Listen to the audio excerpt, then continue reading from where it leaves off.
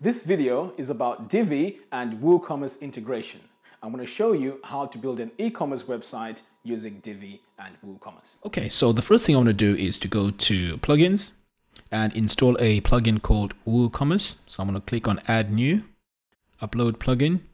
Now I've saved the plugin on my desktop in a folder called Divi Shop. If you'd like uh, this folder, I can share this folder with you. So I'll leave the notes in the um, in the show notes. Okay, so I'm going to double click WooCommerce and then click install now. Right, so what you want to do is to go ahead and click activate. Right, so now that our plugin is activated, what we need to do is to install the WooCommerce pages. So I'm going to go ahead and do that. So I'm going to click on WooCommerce pages. Okay, so I'm going to go ahead and add a product. So I'm going to go to products, add product. So I want to give it a name. I'll just call it mobile phone.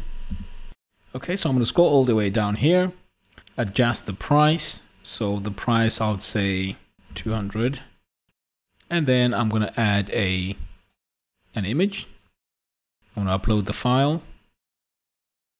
And the file is right here. Add to gallery.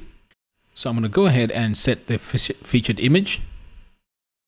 So I've already got the image here. So I'm going to just click on it then set as featured image. And then I'm going to go ahead and click update. So I'm going to view the product. And here we go. So we've got the product there. And then we can add the product description. So on the product description, I'm going to go back and just add some dummy text. Okay, so I'm going to go ahead and copy my description text from Lorem 2 and then I'm going to paste it here. So I'm going to go ahead and click update. So I'm going to go ahead and add two more products and then show you how we integrate this onto the website. So now the next step is to show this shop. So I'm going to go to dashboard and I'm going to go to my navigation. So I'm going to go to appearance menus. And what I'm going to do is I'm going to add the shop to the menu and also the cart to the menu.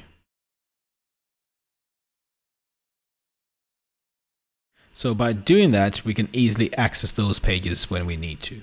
So if I go to visit site, you can see now I've got the cart and the shop right there. So I've just clicked on the shop straight away. You can see all my products are all integrated. So say, say for example, you want to have um, these products on a separate page that you've created. That's easy. All you have to do is uh, go to the dashboard and then I'm going to add a new page. So I want to call this page main shop. Use Divi Builder and then here I'm going to insert a column and then I'm going to insert the module. Now here's where it gets interesting. So straight away I can look for the shop module right there so I can choose to have recent products, featured products, sale products, and so on.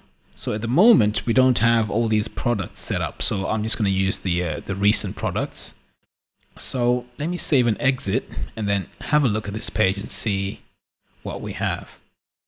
So I'm going to click on update and view the page. There we go. So now we have our own custom main shop link. So we can have this shop to look however you want it.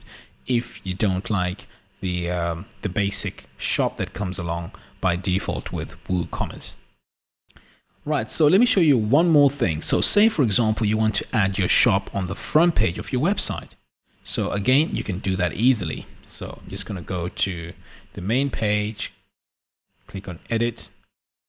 So I'm gonna add a section on the website to display the shop.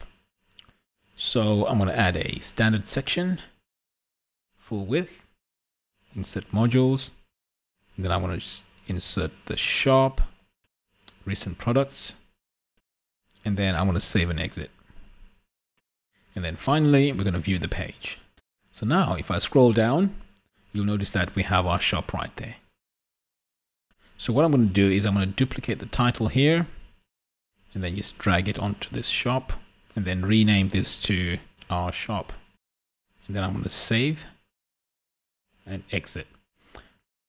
So now I'm going to change the color of this section to separate it from the rest. So I'm going to go ahead and click on background color and this time we're going to make it really dark. So maybe we could use black.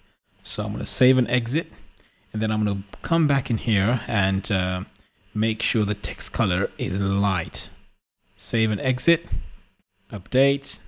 So now let's take a look at our front page and see how the shop looks. Okay, so I'm going to scroll down here and there you go. So you've got the shop. I mean, you can go ahead and change the colors of the text in there. But basically, this is how you add a shop onto your website. Nice and easy. It's all integrated and everything is functional. So let me just show you that. I'm going to click on add to cart.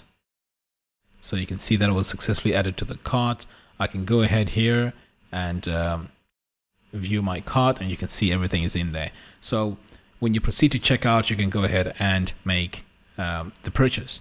But bear in mind that you need to set up your PayPal account or whatever payment method you want to use for your e-commerce store. So this is how you connect WooCommerce and Divi. Thank you very much for watching. I hope you liked the video. To support these videos, you can also buy the Divi theme using my link below or just by going to creativeastro.tv forward slash Divi. Thanks for watching.